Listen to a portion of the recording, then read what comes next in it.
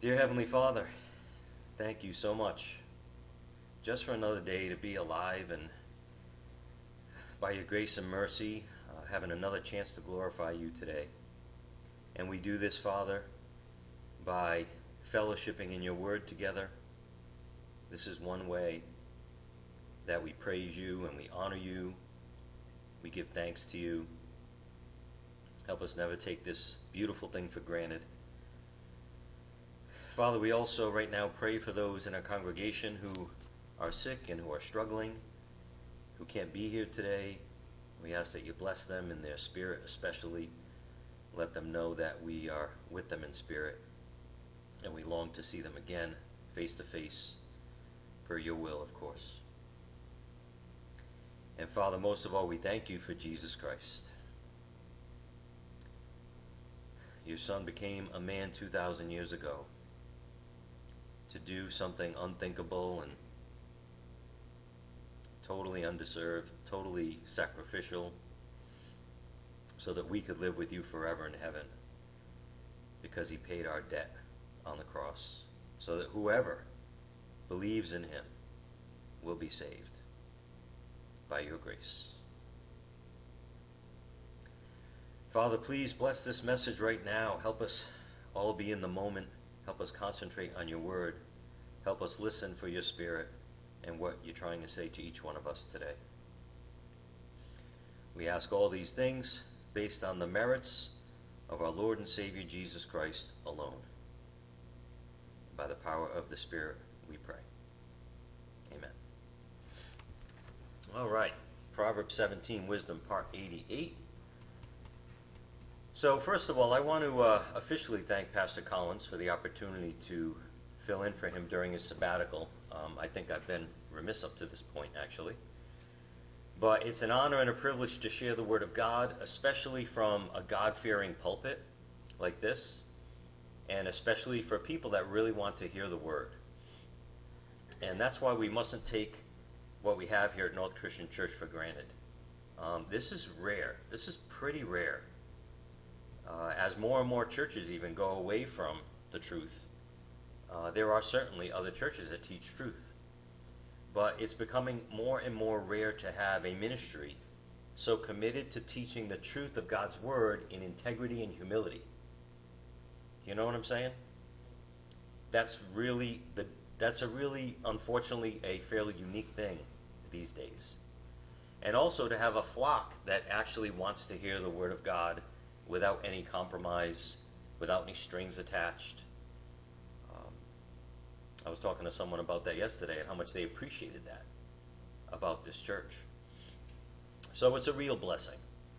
And um, we should just not ever take this for granted. So here's a little encouragement for you all as we begin today, courtesy of the Spirit. Go to Second Thessalonians chapter 1. 2 Thessalonians chapter 1.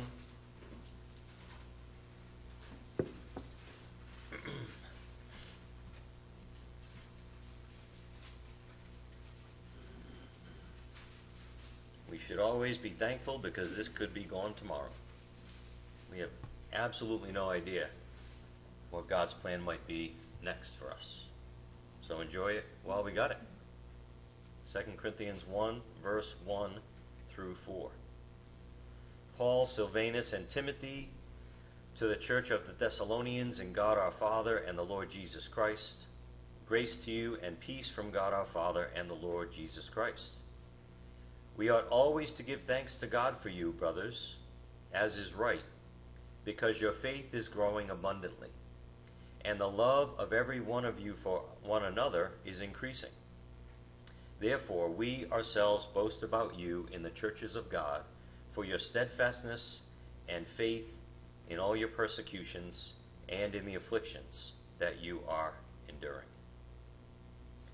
So may God speak to you this morning, whatever you just needed to hear in that passage.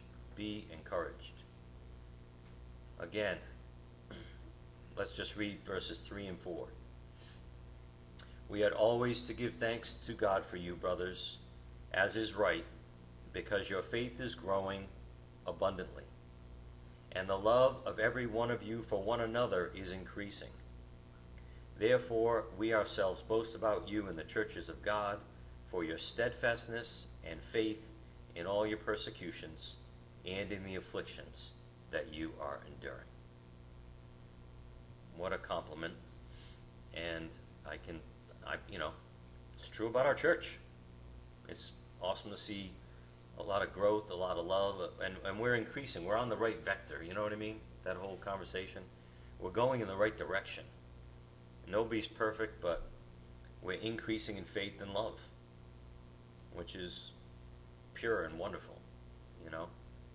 Anyway, God is good and we are blessed. On Thursday, we opened up with the idea of looking out for one another's souls. Um, of course, this is what love does. We were exhorted from the scriptures to exhort one another, and for a very good reason. So turn in your Bibles again to Hebrews 3, verse 12. Hebrews 3, verse 12. We saw again on Thursday that we are to encourage one another each day so we don't fall away from the faith, carelessly listening to voices of doubt, either in our own heads or from others' mouths. Look at Hebrews 3:12 and 13. Take care, brothers, lest there be in any of you an evil, unbelieving heart, leading you to fall away from the living God. In other words, watch out for evil, which is unbelief at its core. Right? The fool has no fear of God. That's unbelief. Watch out for that evil mindset. Don't give the devil a room in your soul because he wants one and he's going to henpeck at you to try to get one. But verse 13 exhort one another every day as long as it is called today, that none of you may be hardened by the deceitfulness of sin. A very powerful warning to pay attention to. Recall past this series on the deceitfulness of sin a couple years ago, which is available on the website to listen to again. Sin will try to deceive us, to trick us away from faith in the Lord. That's Satan's major objective away from faith in the Lord, to get us to doubt. So don't fall for it. When you see it start happening, don't even entertain it. You know? You know when you get those whispers in your ear and you hear, you know, is this really true? Or what about this, right? What about that? Let's do this to Satan. La la la la la. Right? I'm not listening. I'm not listening. Lord, help. In that moment, you know what I mean? Be alert. Don't let that overtake you. And encourage one another so we're not overtaken. Look out for one another. So let's be aware that even as believers in the Lord, we don't fall into an evil, unbelieving heart, as in verse 12. And that means we each have to be on guard to protect our souls from lies, including from false speech that comes our way. And the reason we should encourage one another is not only to avoid evil and unbelief, but also our motivation should be the love of Christ. This has been coming out over and over. Our motivation should be the love of Christ to encourage one another, even.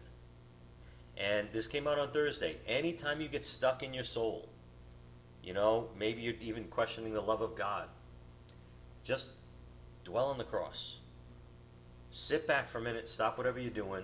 For two minutes, dwell about the cross, about what he went through voluntarily for you. And then you'll re- be reminded of the love of God for you. So this past week, God reminded us that we must always fall back on Christ's love as our strength. On the board we saw Philippians 4:13 in the New King James version. I can do all things through Christ who strengthens me. That's been the emphasis lately. Strengthens me. Who do you rely on for your strength? Do you try to muscle through it? Do you, you know, get macho and be like, I'm going to push through it? Or do you rather surrender in that moment and, and turn to Christ for strength and ask for his supernatural help? The message has been that if he is our strength, we are able to live in supernatural things like love and forgiveness. Truly miraculous things, really, when you think about it. Forgiveness is a miracle of the soul. I mean, when you're an unbeliever, you can't do it. Not truly. You can fake it, you can say the right things. But for your heart to really forgive someone who really hurt you, that's a miracle. That's the power of Christ in you. And with God, all things are possible. You can actually let it go if you rely on Christ for your strength, as on the board. Here was a follow up point that came out on Thursday. The Lord, my strength. We get his strength by faith in his love. This has been another major point over the last few lessons. Where does his strength come from? How do we access his strength? By having faith in his love for us. Even when we are bottom of the barrel that day, right? Even when we're just ugly, sinful, um, doubting, he's there and he's like, just turn back, right? Just turn back to me in faith. Have faith in my love for you. Yes, I still love you, even though you're doing what you're doing right now or thinking what you're thinking right now. And that gives you strength to go on in His power, not your own. We've seen many times uh, Psalm 18.1, Galatians 2.20, and Philippians 4.13 we just saw again. So turning your Bibles one more time to a tireless verse, Galatians 2, verse 20. Galatians 2:20, and bear with me as I just have some allergies this morning, so try to keep the sniffling down.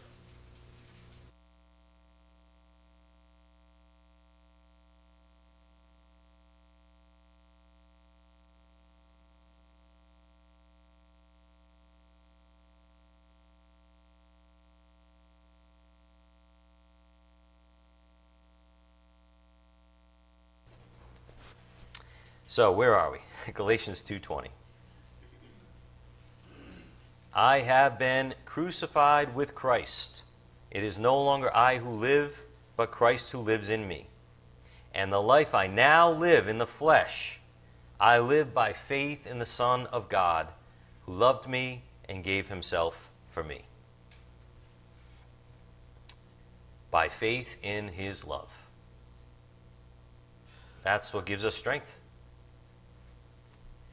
You've heard the phrase, and this came out on Thursday too love gives you wings. Well, if anything should, it's this verse, it's this concept. Have faith in his love.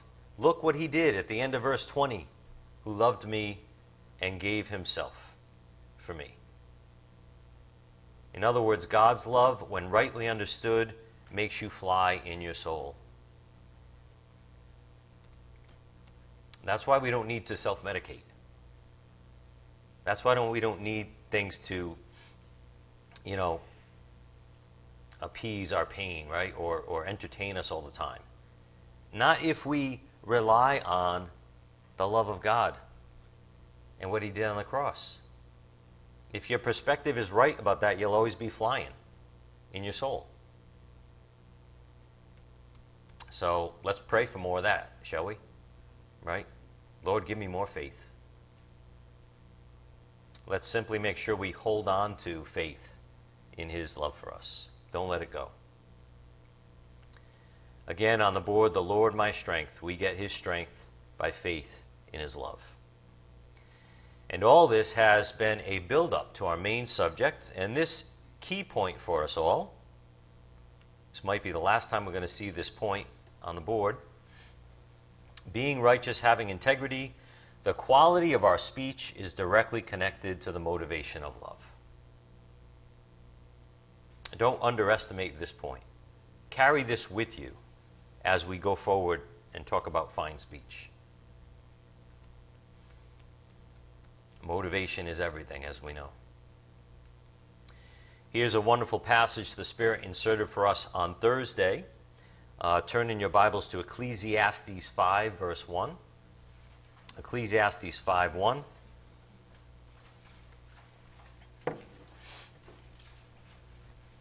And see how many things you can recognize that we've been discussing the last couple weeks.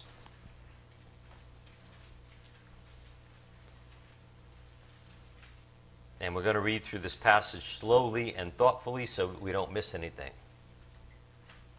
Look at Ecclesiastes 5 1. Guard your steps when you go to the house of God. To draw near to listen is better than to offer the sacrifice of fools, for they do not know they are doing evil. Notice these fools are sacrificing at the house of God. Why are they doing evil? Because they're not going there to listen. Verse 2 Be not rash with your mouth, nor let your heart be hasty to utter a word before God, for God is in heaven, and you are on earth. Therefore, let your words be few.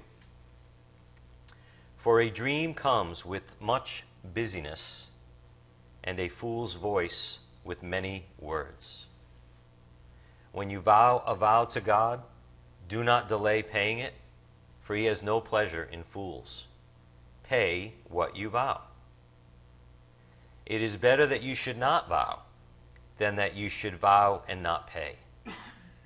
Let not your mouth lead you into sin. And do not say before the messenger that it was a mistake. Why should God be angry at your voice and destroy the work of your hands? For when dreams increase and words grow many, there is vanity. But God is the one you must fear. It's like the Spirit gave us a summary of the last 10 lessons. If you've been keeping up with the lessons, you know exactly what I'm talking about, and you saw a lot of things in there all come together. So thank you to the Lord for that, because He's helping our souls understand and enjoy these truths. Like when we're able to put them together, does it not give you peace and joy? When you're able to see how these things work together, how to think rightly about these things? And we're going to get to that in a minute again. On Thursday, we noted Paul's fear and also love for the Lord. And that's what motivated him to follow his good conscience. We've seen Paul had an appropriate fear of the Lord, and that it's appropriate for us all to have that fear of the Lord, not being fools who deny they need to fear the Lord. That's probably the most foolish thing on earth for a creature, a created being, to not properly fear the Creator. How appropriate is it to have this attitude? It's so appropriate that even the Lord Himself, in His humanity, had this attitude towards His God and Father.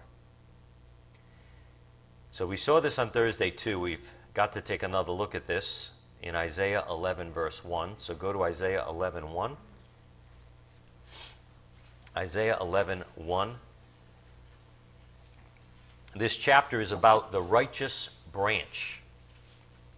The righteous branch. Who is the righteous branch? It's a prophecy about the Messiah coming one day from the root of Jesse. If you don't know, Jesse was King David's father. And it describes what he will be like, as well as it describes the future millennial reign of Christ on the earth. But let's see what he will be like. What will the Messiah be like? We already know, but we keep learning about him, even from prophecies written hundreds of years before he was born. Look at Isaiah 11 1. There shall come forth a shoot from the stump of Jesse, and a branch from his roots shall bear fruit. And the Spirit of the Lord shall rest upon him the Spirit of wisdom and understanding the spirit of counsel and might, the spirit of knowledge and the fear of the Lord, and his delight shall be in the fear of the Lord. How can that be, right? Jesus is God in the flesh, and he's perfect. Why does he have to fear the Lord? He is the Lord. So, what a message to us that in his humanity, he delighted in fear of the Lord. As a man, he truly became human too. And he lived it out with every temptation coming his way, as we know. And he lived it out in humility, in the fear of the Lord. And we noted on Thursday the Hebrew word for delight here, when it says, His delight shall be in the fear of the Lord, it means to be given quick understanding, which is a delight to the soul. When your eyes are open and you get something, you finally get something, and you're relieved and you're, and you're, you're happy in your soul. Remember this verse on the board Psalm 111:10. The fear of the Lord is the beginning of wisdom. All who practice it have a good understanding. His praise endures forever. Why is that last part highlighted on the board there? His praise endures forever. Because when you get good understanding, you rejoice in your soul. When you know God, even a little bit better each day, hopefully, you get joy and peace in your soul. So that's kind of the message, and Jesus is our great example as a man. Even though he was perfect, he still feared the Lord. How much more should we? So, needless to say, the Lord Jesus had tremendous fear and reverence for his Father God in heaven as a man. And this verse tells us this it was his delight. As we walk with the Lord, reverent fear for him should be our delight too. Like, it's easy from a natural mind to say, fear the Lord. Like, our natural mind looks down on that, doesn't it? Like, kind of like a negative. I have to fear the Lord, or why am I fearing the Lord if He loves me, right? You start trying to understand. And then you see it's supposed to be a delight, it's supposed to be like a pleasure, maybe even a relief to know God that way. And to our next point on the board. Oh, the love and fear of the Lord. To know the Creator of the heavens and the earth, the Almighty One, who could wipe us out in a split second, but yet He loves us and is for us. That's the joy of the fear of the Lord. That's the delight of the fear of the Lord. You mean this one who did all of this with his mouth, just speaking a word, is on my side, is for me now because I'm with Christ? Yeah. That's the delight of a believer who has the fear in the Lord. The fool doesn't have that. But we can enjoy that. We're supposed to enjoy it. He proved his love at the cross. The Almighty One.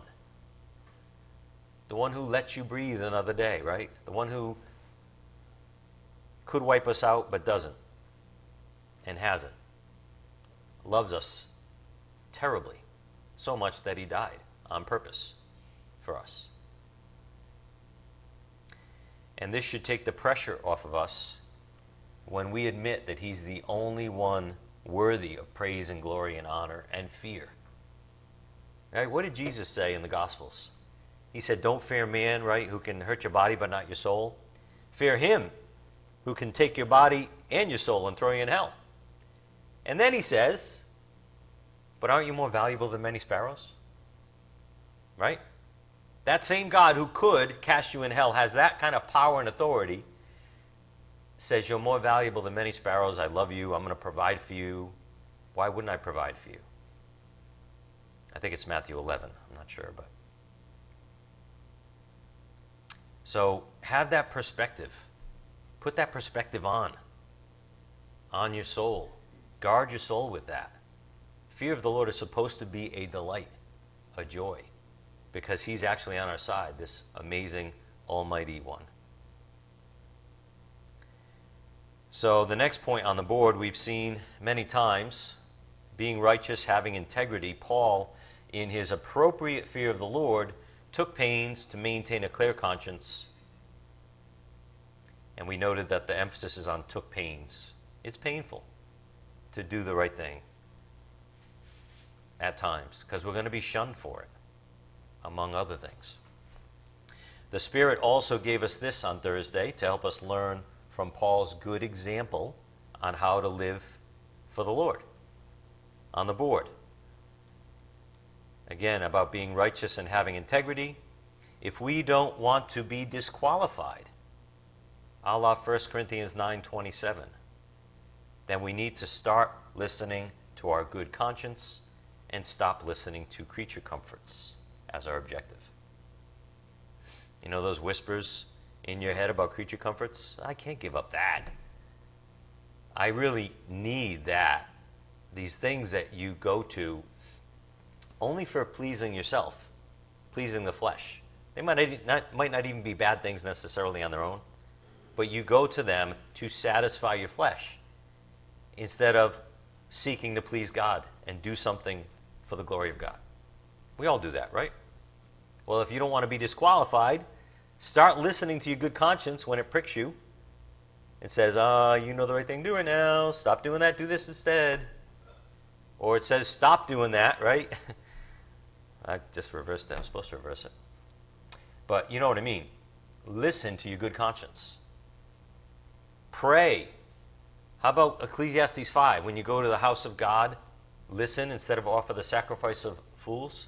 How about when you pray? Listen instead of offering too many words. And ask God what He wants you to do. That might disturb your creature comforts, but otherwise you might be disqualified. We're here for God and not for ourselves, everybody. And we're all going to see the Lord face to face very soon. So make up your mind to go all in and stop playing some kind of a religious game on the fence. As per the point on the board, if we don't want to be disqualified, then we need to start listening to our good conscience and stop listening to creature comforts as our objective. And this goes nicely with our next point on the board regarding integrity to the Word. By faith, the righteous person doesn't move away from truth. And although it might hurt in the short term, they know God will bless them out in the long term. Romans 8:28 we've seen. God is good, my friends. He's for us. And he has a wonderful plan for us to fulfill, to walk in and He loves us. And He promises to provide for those who follow Him, even as we battle in the devil's world. Life's a battle, right? This is the devil's world according to the Bible. Ephesians 2 2, 2 Corinthians 4 4. So we're, we're definitely in a real battle in the devil's world. But he promises to provide. So go forward in faith. The other point that's been coming out the last couple lessons is walking by faith. Going forward by faith is the only way to see these things come to fruition in our lives. That's the only way we're going to see God's mercy acting upon us, right? Um, like Romans 8:28, all things work together for good for those who love God. The only way we're going to see that is if we love God.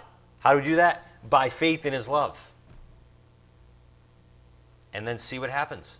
But you don't go forward by faith, you're going to miss out on a whole lot. You might even be disqualified from the rewards and blessings in heaven that God has designed for you.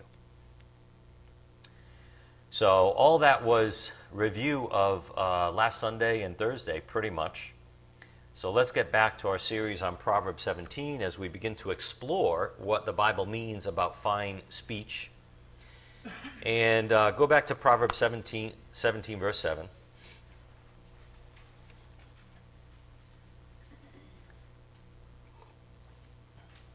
Everyone's got their magic ribbon. That was the quickest, quietest turn ever. so, as we've talked about, the Spirit is certainly building up a foundation in our souls for this subject of fine speech to rest on, right? Proverbs 17 7 Fine speech is not becoming to a fool, still less is false speech to a prince. We've seen that we are to be on guard for the fool and his persuasions. And again, Satan has no scruples. He will even use people that you love and their ungodly speech to plant evil in your souls and to try to draw you away from the faith. We've also been talking about being dignified as a believer in Christ, which we also saw in Proverbs. So turn back to Proverbs 30, verse 29. Proverbs 30, 29.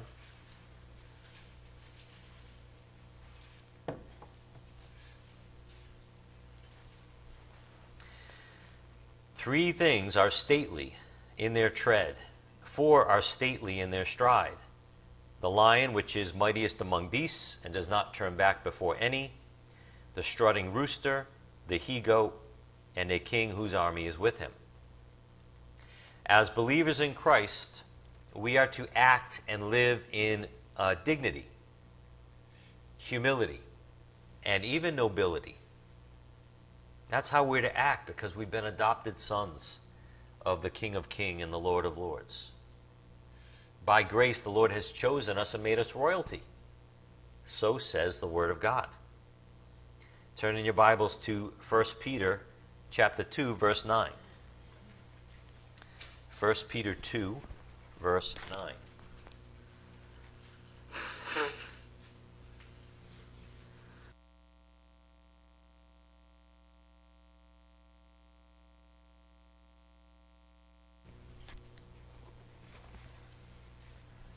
So we should walk with our heads held high with dignity because the Lord lives inside of us. And He's made us brand new and different. Look at 1 Peter 2 9. But you are a chosen race, a royal priesthood, a holy nation, a people for His own possession, that you may proclaim the excellencies of Him who called you out of darkness into His marvelous light.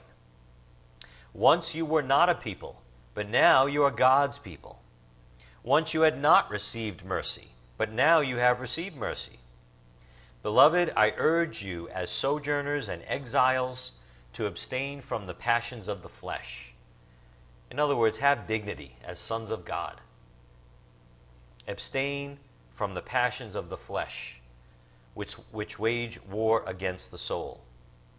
Keep your conduct among the Gentiles honorable. See that word? Honorable. Dig- dignity, nobility, even. Keep your conduct among the Gentiles, unbelievers, honorable, so that when they speak against you as evildoers, they may see your good deeds and glorify God on the day of visitation. That's a great thing to think about, folks, because when we keep our conduct honorable, and and people still come at us and criticize us as believers in Christ, right?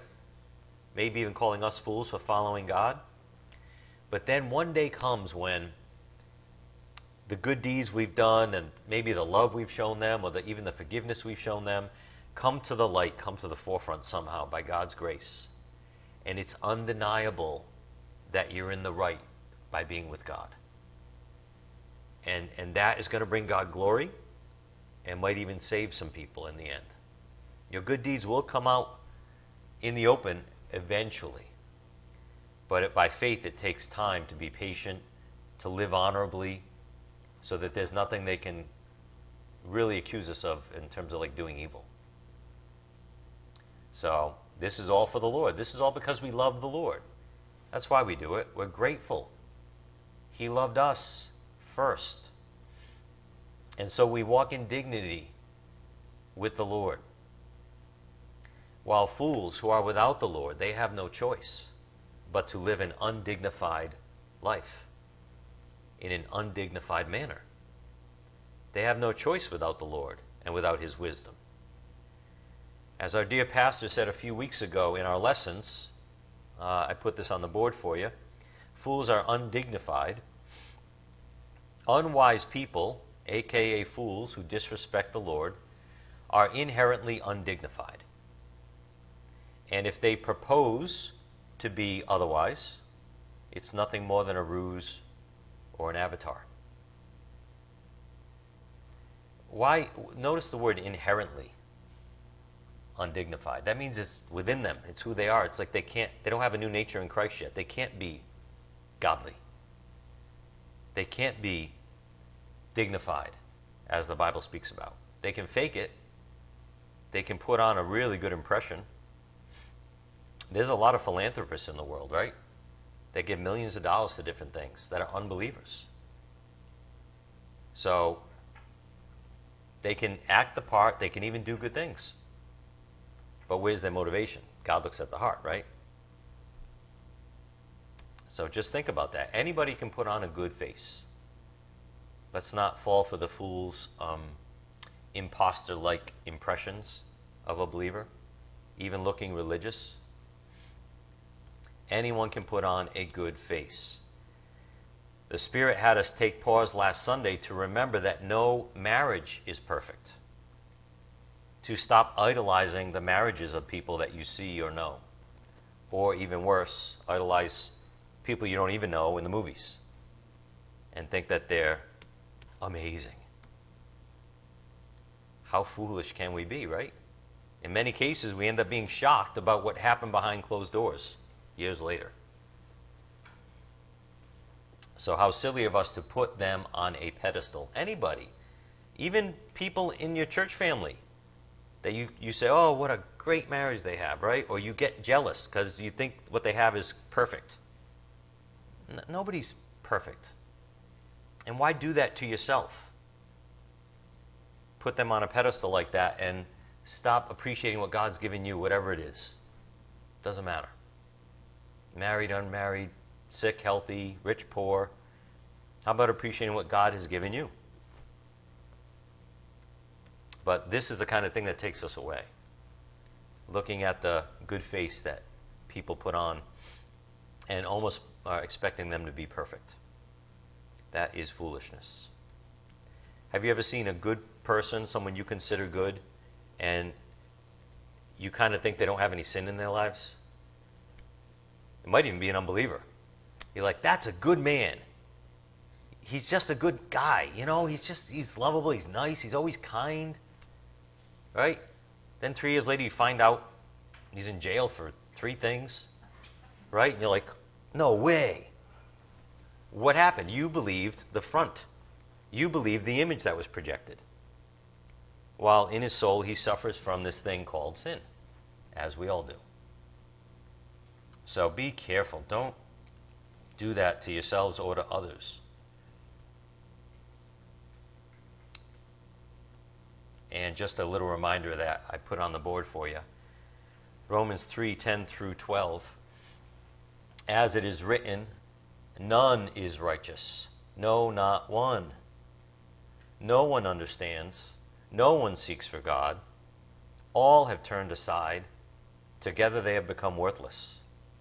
No one does good, not even one. This includes us as unbelievers, right? Until we're made new by faith in Christ.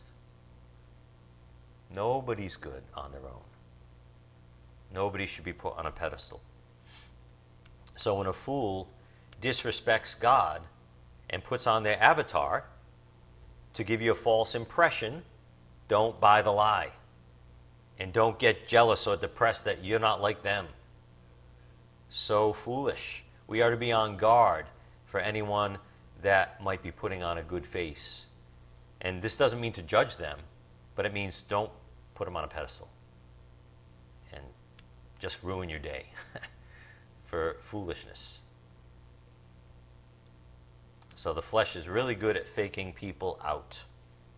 Next point on the board fools are undignified. The flesh produces expert liars. Expert liars that can fool you. That's how good they are at lying. And we also mustn't buy the lie of appearances. So I think this is where we left off on Thursday, but go to 1 Samuel 16. We haven't been here yet. Go to 1 Samuel 16, verse 6. Fools are undignified.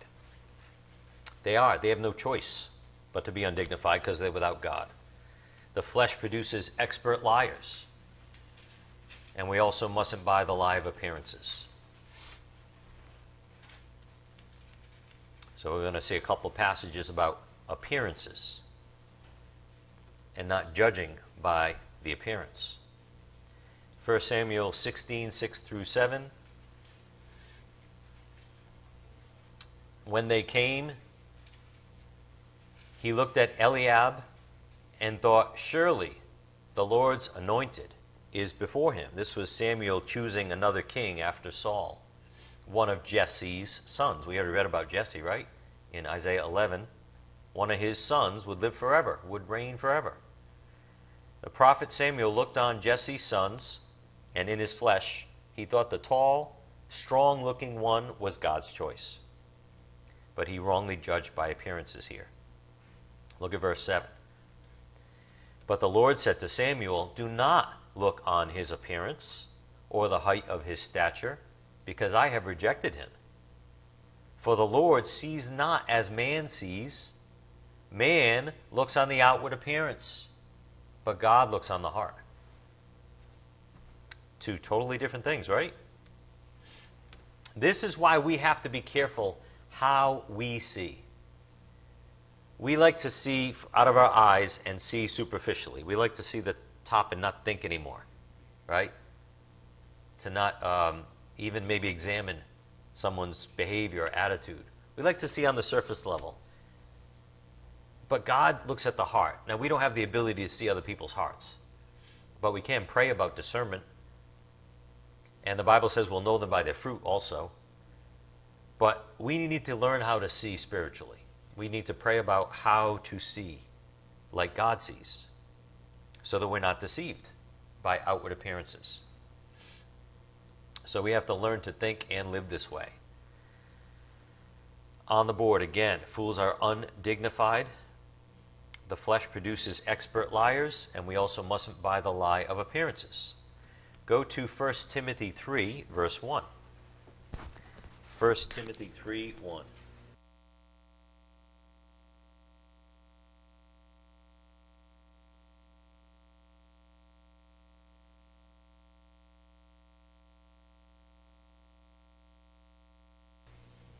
The humidity is just carrying everything around, I think. Anyway, that's my excuse. 1 Timothy 3 1. But understand this that in the last days there will come times of difficulty, for people will be lovers of self, lovers of money, proud, arrogant, abusive, disobedient to their parents, ungrateful, unholy, heartless unappeasable, slanderous, without self control, brutal, not loving good, treacherous, reckless, swollen with conceit, lovers of pleasure rather than lovers of God, having the appearance of godliness, but denying its power. Avoid such people. Do you see it? They put on a religious avatar. They even go to the house of God and sacrifice the sacrifice of fools, but they don't draw near to listen. Right? Ecclesiastes 5. Having the appearance of godliness in verse 5, but denying its power, avoid such people. For among them are those who creep into households and capture weak women, burdened with sins, and led astray by various passions. So now think about the undignified serpent. The Old Testament calls out these evil people as devouring widows and orphans instead of helping them. That's a common phrase in the Old Testament. And it reminds me of verse 6 For among them, these who appear to be godly, are those who creep into households and capture weak women burdened with sins and led astray by various passions. In other words, they take advantage of people's weakness. And they do it in a creepy way because they put on a religious outfit to look godly. I am scared for those people during the judgment who knowingly do this for their own selfish gain. They put on an avatar of being religious or godly, and you can only think of Jesus accusing the self righteous Pharisees of these same things. So look at verse 7. They're always learning, but never able to come or arrive at a knowledge of the truth. Just as Jannes and Jambres opposed Moses, so these men also oppose the truth.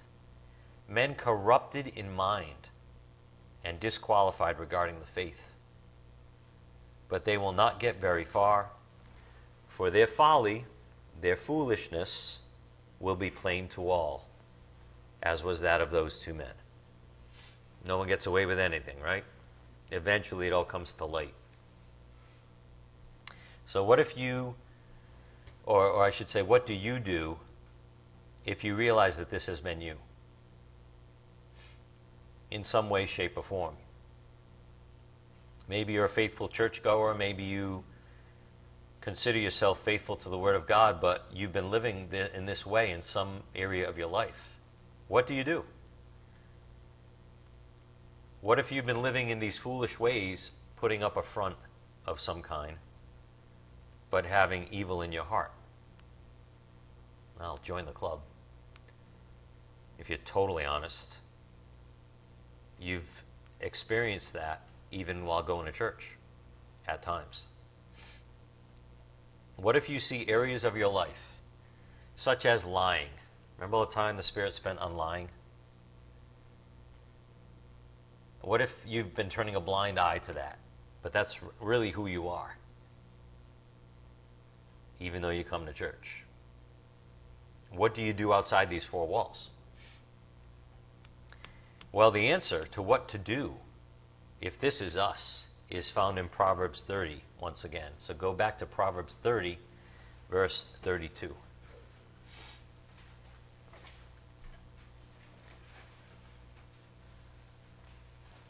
We are capable of a lot of sins, and we love to ignore when we're doing them. We don't like to analyze ourselves or examine ourselves to see maybe where we're thinking wrongly or speaking wrongly, right? Or doing wrongly. Proverbs 30, verse 32 What do you do if this is you? If you have been foolish, exalting yourself, or if you have been devising evil, put your hand on your mouth. Sounds like repentance to me, doesn't it? And here it starts with suppressing your false speech. Back to our main subject. Just stop talking. Just stop lying. Right? Put your hand on your mouth.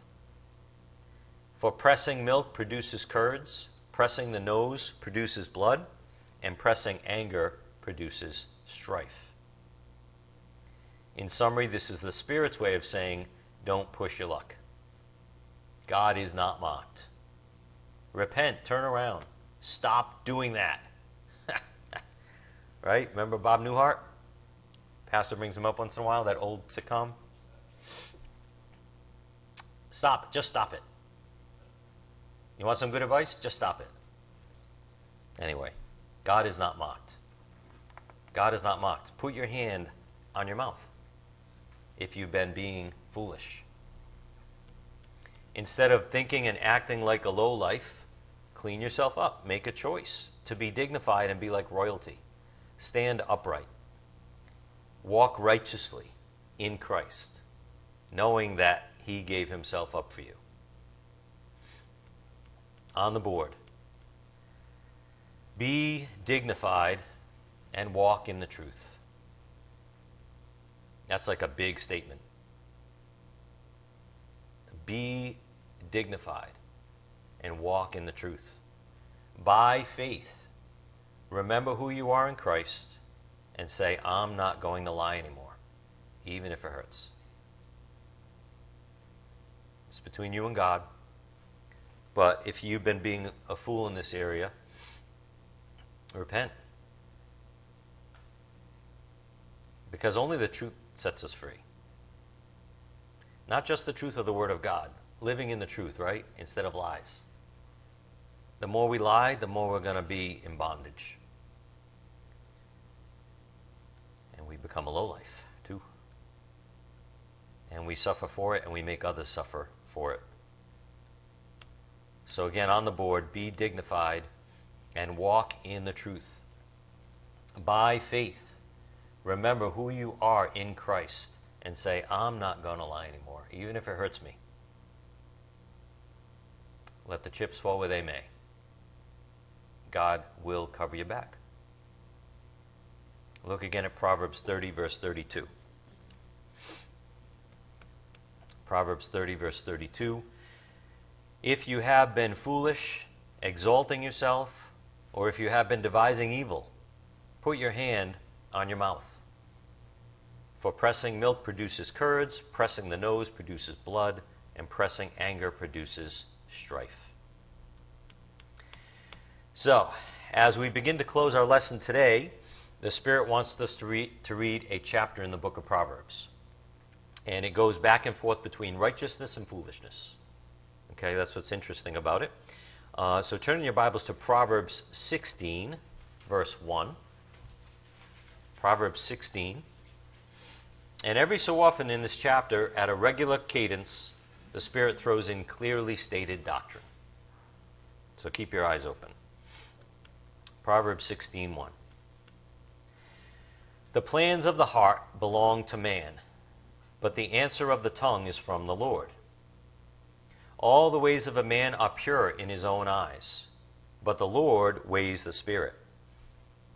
Commit your work to the Lord. For example, be all in. Commit your work to the Lord, and your plans will be established. The Lord has made everything for its purpose, even the wicked for the day of trouble. Everyone who is arrogant in heart is an abomination to the Lord. Be assured, he will not go unpunished. Once again, God is not mocked. Don't worry about it if someone's getting away with stuff and you think, oh, they've got this great life and they're living in evil. Why are they so blessed? Don't worry about it. He will not go unpunished. And verse 6 By steadfast love and faithfulness, iniquity is atoned for, and by the fear of the Lord one turns away from evil. We're going to pause here at verse 6 for a minute. Let's remember on the board oh, the love and fear of the Lord. Love is the great motivation that solves all of our problems. And remember, the Spirit has taught us in the past the close relationship between love and fear. Fear of the Lord. Psalm 103, and we just saw it in Proverbs 16 6. And notice this passage in verse 6 tells us fear of the Lord, Lord turns us away from evil. Turns us away from evil. We should regularly ask the Lord to keep us from evil. It's even part of the Lord's Prayer, is it not? At the end of the Lord's Prayer that he taught the disciples, deliver us from evil. So not only should we pray for that, because we need help, right? Who doesn't need help staying away from evil? But not only that, but fear of the Lord will keep you away from evil. Having the right perspective about God, and that includes love and fear of the Lord. They're both proper, they're both appropriate, and they're both closely related. So the more we develop a healthy fear of the Lord, even thinking of examples like Ananias and Sapphira we saw in, in Acts chapter 5, right, where they were, they died they lied to the Spirit, and God took them out. Whatever it takes to remember that it's appropriate to have fear of the Lord, and that will help you turn from evil, as in verse 6. So, our next point on the board before we go on regarding fear of the Lord, this has also been coming out kind of intermittently in our, in our series. Fear of the Lord also includes a fear of not pleasing your Heavenly Father.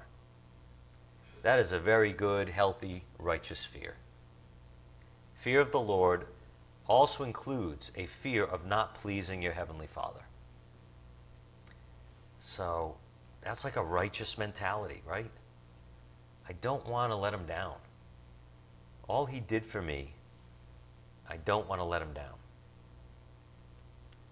So let's read verse 6 one more time in your Bibles, Proverbs 16 6. By steadfast love and faithfulness, iniquity is atoned for, and by the fear of the Lord, one turns away from evil. Again, next point on the board Oh, to love and fear the Lord.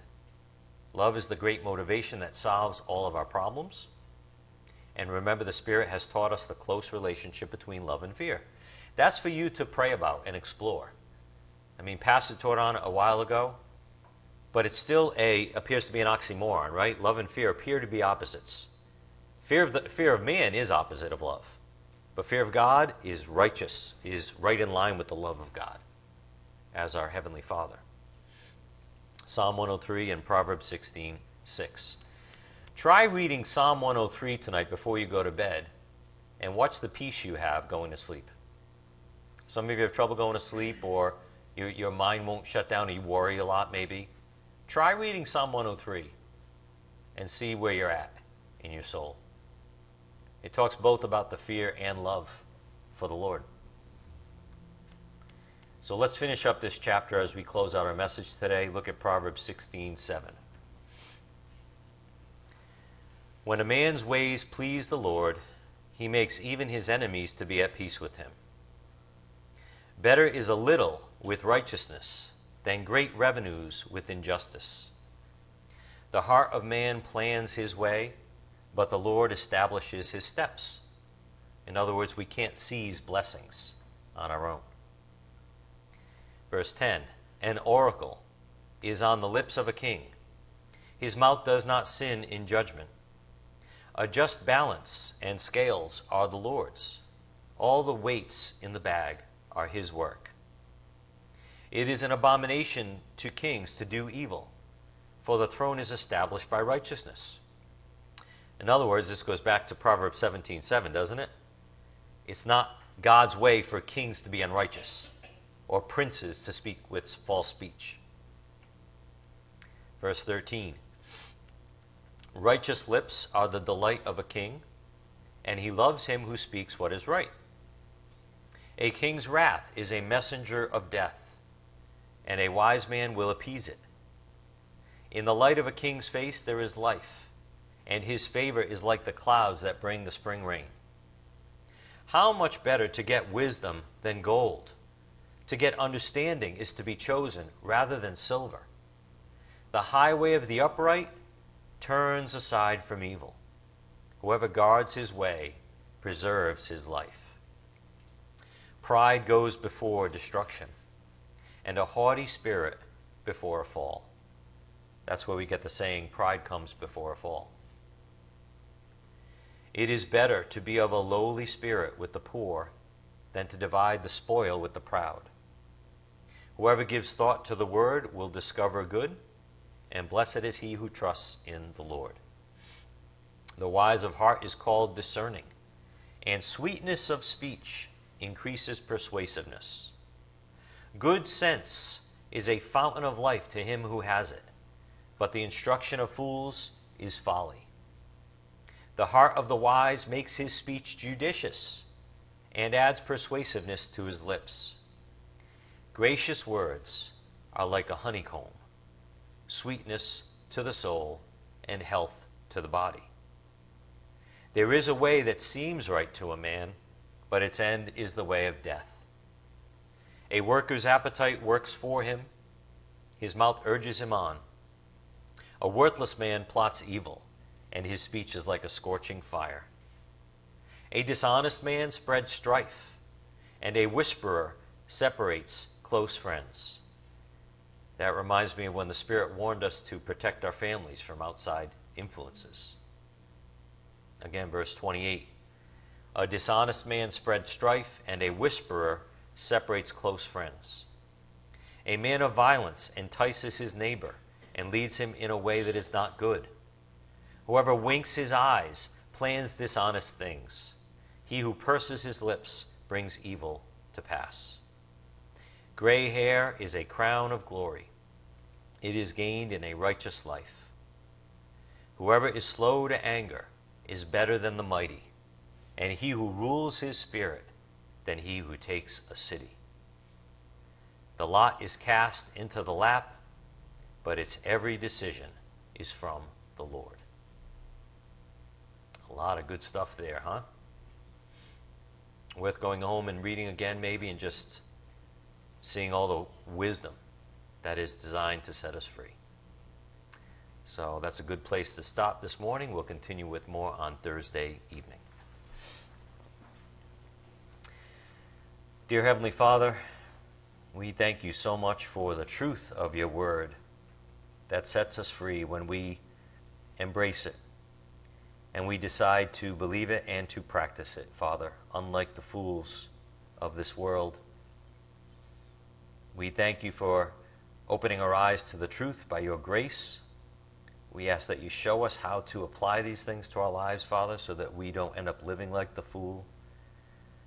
That in humility we have fear for you because you are the Almighty One, the Creator of heaven and earth who yet loves us and gave himself up for us.